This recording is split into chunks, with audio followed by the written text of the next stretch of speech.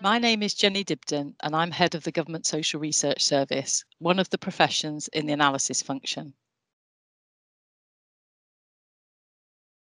My days are generally filled with meetings, lots of them.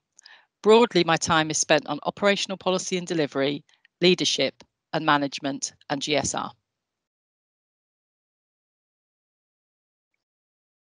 I am currently co-director in Cities and Local Growth Unit, a joint MHCLG and BEIS unit. My job is leading on the delivery of domestic and EU funds and the preparations for local economic shocks.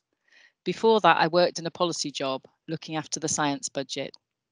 I started my career in DWP, where I spent over 23 years working for DWP and its predecessor organisations. I joined as a casual social science research officer on a three month contract I have probably spent about half my career working in analysis or part analysis roles and half in policy or operational policy and delivery. Government social research is the analytical profession within government for civil servants who generate and provide social and behavioural research and advice.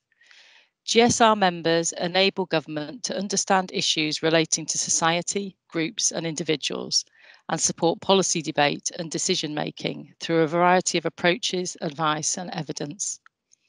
We currently have over 1,800 professionally accredited members across more than 50 departments and organisations.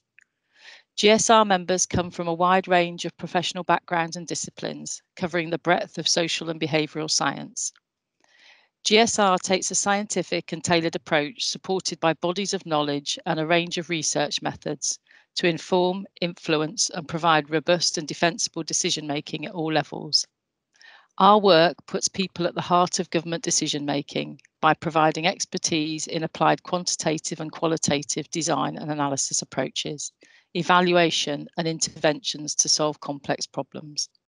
We use this expertise to provide analytical insight to enable decision makers to understand systems, processes, and change associated with people, groups, organisations, and society, their attitudes, perceptions, behaviours, and intentions to inform and improve the quality of strategy, delivery, and policy debate decision making. We anticipate and evaluate the impact of government decisions, understand what works for whom, to what extent, in what context, how, and why, why not, and provide expert social research advice and evidence to design, challenge, reduce risk, trial, improve quality, and implement government strategy and policy.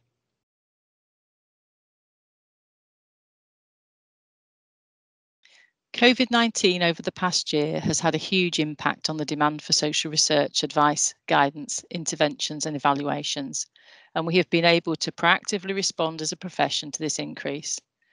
The focus of social research is on society, groups, and individuals. Any event that impacts on people will see an increase in demand for social research to support decisions. We are always thinking about and evaluating the impact of interventions, policy debate, and decisions on people and society. For example, thinking about how to encourage people back to using public transport, and, for example, informing the design and implementation of the UK wide COVID 19 infection study. Like most people across the country, we have had to adapt to new ways of working and have embraced virtual working. We have redistributed social researchers to support frontline COVID 19 requirements while maintaining the business as usual activities across all departments.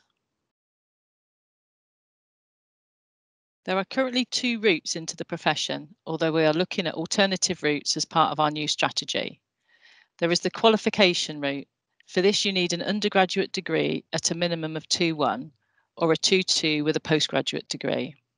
The qualifying degree needs to contain around a third of modules covering social research methods training, including quantitative research methods, and at least three of the following areas literature systematic reviews, qualitative methods, interpretation of data and presentation of results, study design, hypothesis testing, and application of ethics to research. There is also a professional experience route, which requires an undergraduate degree at a minimum of 2 1 or 2 2 with a postgraduate degree, plus at least four years social research practical experience. This might include working in a research agency, market research agency, or specialist research team. To enter through this route, you need to be explicit and demonstrate the breadth and depth of your research experience and skills, which should include the same areas previously outlined. Once you have the relevant social research methods training or experience, depending on the route, you can then apply for GSR roles via civil service jobs. GSR also has various recruitment schemes, including the FAST stream and placement schemes for undergraduate students, both the summer scheme and sandwich schemes. Once in the profession, there are opportunities across a range of departments to develop your skills and experience. GSR members often work in multidisciplinary teams made up from analysts from across the various professions within government. This facilitates and encourages collaboration at the heart of decision making and provides a more holistic view. As a profession, we have our senior GSR members, our heads of profession, and our leadership team, myself, Ed Dunn, and Siobhan Campbell, who are involved in various cross government and cross profession groups, ensuring social research is at the forefront of activities and allowing us to disseminate information down to our members. We also use the central support team that looks after the GSR and GES professions to bring our members together and share learning.